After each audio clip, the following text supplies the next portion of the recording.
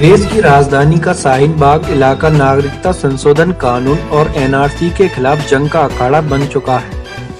शाहीन बाग इलाके में सीए के खिलाफ 15 दिसंबर से जारी विरोध प्रदर्शन में दबंग दादियों महिलाओं की आवाज़ बुलंद की है। प्रदर्शन में शामिल सबसे उमरदाज महिला उस्मा खातून को इस बात का जरा भी एहसास नहीं था कि वो शाहीन बाग आकर दबंग दादी के नाम से मशहूर हो जाएँगी। दरअसल दिल्ली के शाहीन बाग में सीए के खिलाफ प्रदर्शन जारी में शामिल सबसे बुज़ुर्ग महिला उस्मा खातून 90 साल की हैं, जो बिहार की रहने वाली है। उस्मा खातून ने मीडिया से बातचीत में बताया कि वो बिहार की सीतामढ़ी ज़िले के रायपुर इलाके की रहने वाली है।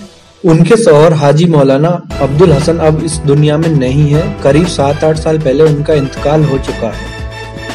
उस्मा खातून ने बताया कि दिसंबर में वो अपनी नवजात पोती को देखने दिल्ली आई थी। सरकार को धर्म के आधार पर बना कानून वापस लेना चाहिए।